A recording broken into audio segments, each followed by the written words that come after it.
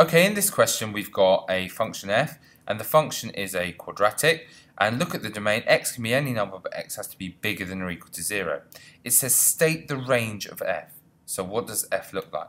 Well, let's just draw this graph. This graph here is a quadratic. It's a negative x squared, so it's going to be an n shape, so it's going to be an n shape, and it's shifted three units up from, from 0, 0. Like, so it shifted three units up, so it's going to look like this. Something like this. Where that point's 3. And also notice that x has to be bigger than or equal to 0, so really I should rub out all of this here, so that's how that graph would look. Something like that.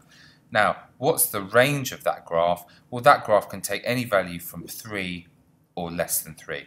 So what we're going to say, we're going to say that f of x is less than or equal to 3. And that's our range of our function. Drawing the graph was really helpful for us to do that. Sketch the graphs of y is equal to f of x and uh, the inverse function on the same diagram. Okay, well, I've already started off by doing that, quite luckily, but let's just make it a bit bigger and a bit neater. So what I'm going to do is I'm going to draw big axes here, and I said it was a quadratic, right? And it started up at 3, and it was a negative quadratic. So it's going to go down something like that. Okay? Um, be, be careful when you're drawing a quadratic. It shouldn't look like it's coming back in. It's going out all the time, like something like that. Okay? So this is our x-axis and this is our y-axis here. Now, this point here is worth noting. This is going to be when the function, uh, so the function is 3 subtract x squared, when that is equal to 0. And that's going to be, uh, if I solve that, it's going to be at x is equal to the square root of 3. So this point here is going to be the square root of 3, like that. Now the inverse function, well, we should know that the inverse function is a reflection in the line y is equal to x. And um, so this one here will be up here at root 3. And this crossing point here will be over here at 3, like that. Okay, so the reflection here, hopefully you can see, would look something like that. Okay, so this is the graph y is equal to the inverse function of x, and this blue graph here is y is equal to f of x, like that. Notice they meet at a point here when um, f of x is equal to its inverse function. Notice here, um, I should have continued with this, I didn't by mistake. That continues in the same way that continues there. Okay? Right, so what's the next part? Um, find an expression for the inverse function and state its domain. Okay, so for part C, well, the original function, let's just state that f of x is equal to uh, 3 subtract x squared. So um, uh, let y is equal to 3 subtract x squared swap the roles of x and y, so x is equal to 3 subtract y squared, and make y the subject. So what I'm going to do is I'm going to say from that y squared is equal to 3 subtract x, just swapping the x and y roles, or adding y squared to both sides and subtracting x. So y is therefore the positive or negative square root of 3 subtract x.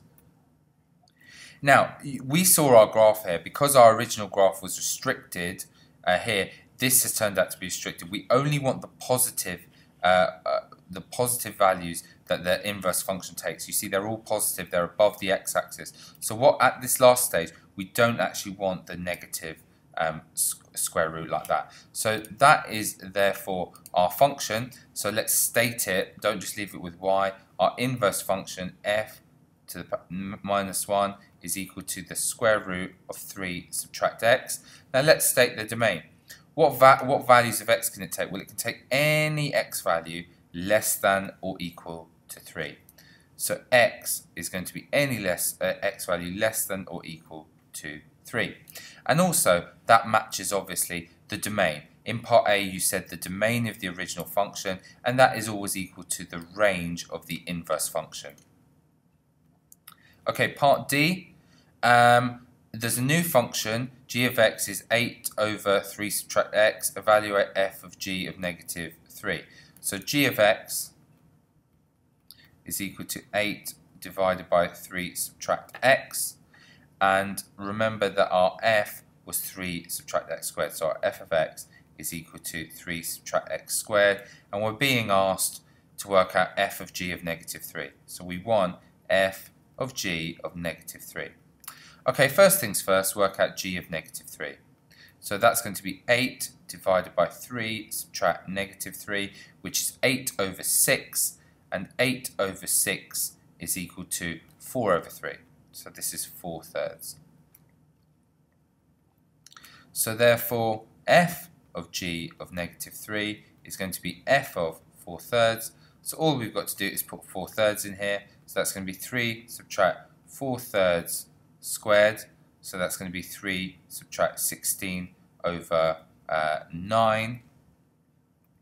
And so we've got 3 subtract 16 over 9, which is 11 ninths. So this is going to be equal to 11 ninths, f of g of negative 3.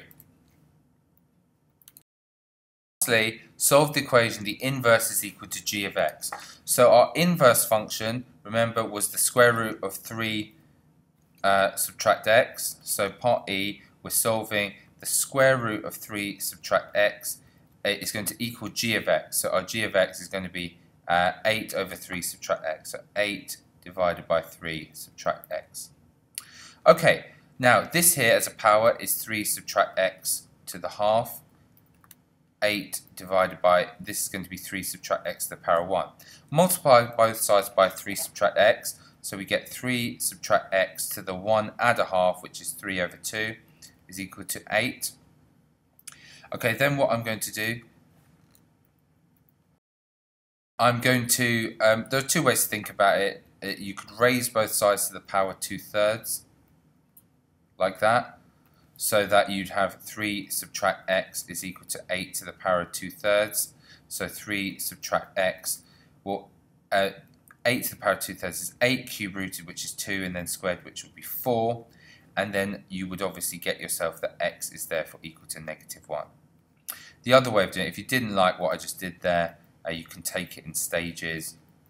You can uh, square both sides, so you would get 3 subtract x cubed is equal to 64, and then you could cube root both sides, 3 subtract x is therefore equal to 4, and then you would uh, take away 4 from both sides and add x, and you would get negative 1 is equal to x, just as I did before. So x is equal to negative 1, and we've solved that equation, and we're done.